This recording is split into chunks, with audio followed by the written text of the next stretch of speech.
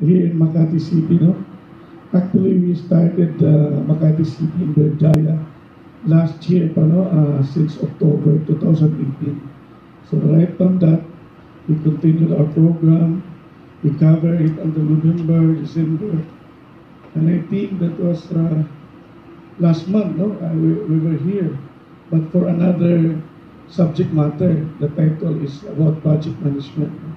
But before we start of our program, maybe we are just few, but still, that is not a, a reason we will not continue, no? So I invite you all to please stand up, no, for a word of prayer. Wala lang tayo uh, national anthem, no? Na mayroon pa. Uh, thank you very much for your courtesy, Engineer, ano, no? Uh, Civiliana, sir. uh, You're from From Laguna, sir. Laguna, Yes, sir. Laguna. Ay, sir, actually, province ko, sir, from Pangasinan. Your project's located in, In uh, Laguna po, sir. Laguna. Yes, sir. Okay, in the name of Father, Son, and the Holy Spirit. Lord, thank you for guiding us today in this place, safe and sound. Thank you for giving us health and, and good mindset. And I hope that uh, we continue this uh, seminar, and I hope that everybody can learn a lot of lesson today. Especially you will guide uh, our speaker, who is more expert in this field. I hope that he can share all this uh, expertise to our participants today. All these things we ask and we pray in your Son's mighty name, Jesus Christ, our Savior. Amen. Thank you. Father, Son, Holy Spirit. Please sit down. So before I start and introducing our speaker, maybe I can just say a small thing about CPD, no? You he- heard already about CPD going down. There's a soap reduction with regards to the requirement for the units, no? As you have heard nationwide, instead of 45, it's now becomes 15 CPD for the three years. And there are already some agreement that has passed already and being adopted now that uh, for the new licensed engineer, there will be no more uh, three-year, uh, we can say moratorium.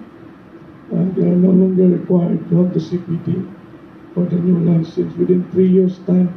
But after the last lapse of three years, they started the CPD.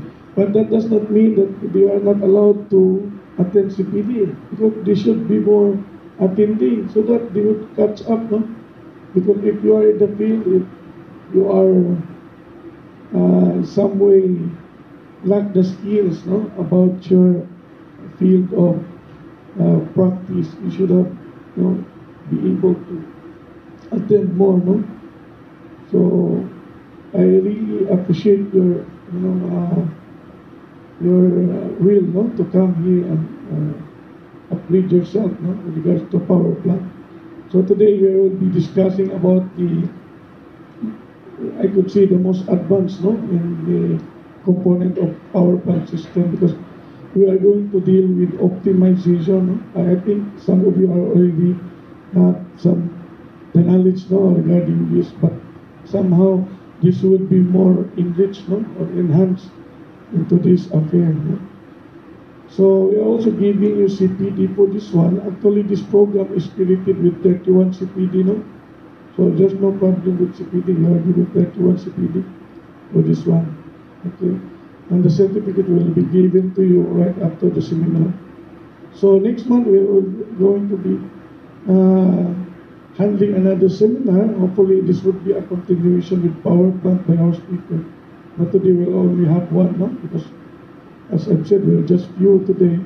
I hope that uh, our speaker can share, maximize all this uh, subject matter as per timeline, which is eight hours only for today. No? So after that, uh, you will have your lunch. I think I'm going to arrange a lunch across the road. No, I think uh, engineer, our speaker is familiar with the burger at the, in front. No, I'll arrange for that after my speech. Then you just go there directly no, during lunchtime.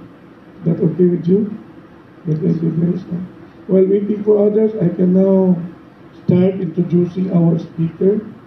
Um, because it's already known to me for quite some time now. So needless to say, he has a background of mechanical engineering as well, no? But the good thing about this guy is expertise is main, mainly deal on the power plant no? systems. No? He's able to to really handle a lot of the most advanced technology with regard to power plant. So is that the right man to reckon with, especially when you have some problem with power plant. Now, I know some of you guys is coming from La Union, Pampanga, Bataan, anywhere across this uh, uh, nationwide in the Philippines. No? So somehow we, if we are only have some good numbers of delegates, we can really uh, present to them how this uh, good program is inevitable and essential to everybody. That's why we're always conducting a monthly seminar in order for people or engineers to just uh, come here no, and openly attend that our, our programs uh, dealing with our plant. Because I believe uh, there are only few uh, professors or instructors or experts speaker who can really share the, their talents on this matter. No? And hopefully one day, you guys know, young guns, no? in the future, you're probably going to be sharing to the, uh, the after generation to come, no? Because of, because of the knowledge that is going to mentor you. So going back to that introduction, is also a graduate of De La Salle University, no? And I think he has got a master's in industrial engineering. So a senior guy?